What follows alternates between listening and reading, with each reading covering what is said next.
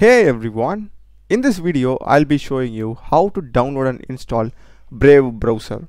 So let's get started. So just go to Google and type download Brave browser. You'll be getting the first link. Just click that or else you can just directly go to brave.com. If you search that you'll be getting the same thing and here we'll be having a option to download Brave. If you want to read the features you can just scroll down and read it through. I'll just click on download Brave so the setup is done. It's so fast. So just double click. So the download and the installation will be getting started. Just be patient till then. So once the installation is complete you'll be getting like this the brave browser. And if you want to set it as the default browser you can click that. I'll just click on skip. And i don't want to like import any settings. Skip again. Yeah if, if you want you can just check this. I will just uncheck and click on finish.